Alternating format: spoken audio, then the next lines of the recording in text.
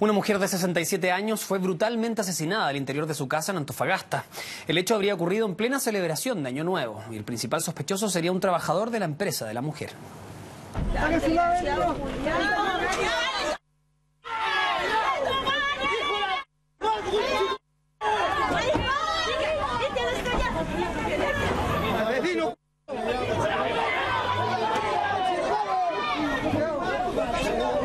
Así salía el principal sospechoso de uno de los primeros y macabros asesinatos de este 2016.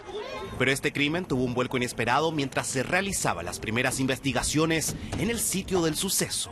Había una persona fallecida al interior de este domicilio, eh, era de sexo femenino, de 67 años aproximadamente de edad.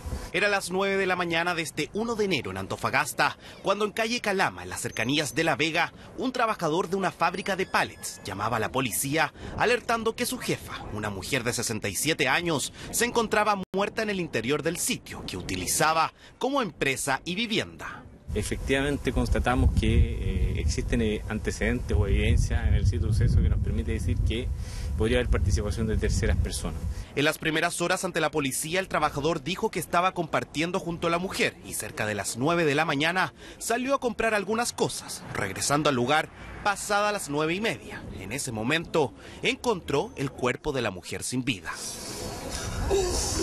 Iniciamos de inmediato el trabajo de empadronamiento para ubicar testigos que nos permitan establecer eh, las circunstancias que este hecho ocurrió. Hasta ahí todo se trataría de un nuevo homicidio y comenzaba la búsqueda de quien pudiera ser el responsable. Pero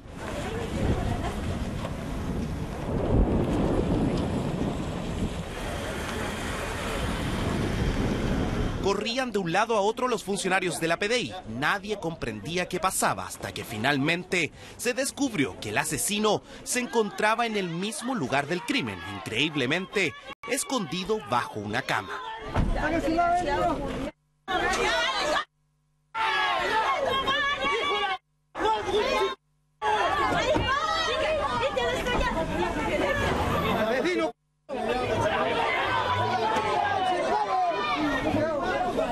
Vecinos y familiares desataron su furia contra el hombre, que fue rápidamente trasladado hasta la brigada de homicidios donde tendrá que esclarecer qué fue lo que ocurrió. Un lamentable hecho que llega a empañar este nuevo año y donde ahora la policía deberá determinar si el hombre escondido bajo la cama es el culpable de este asesinato.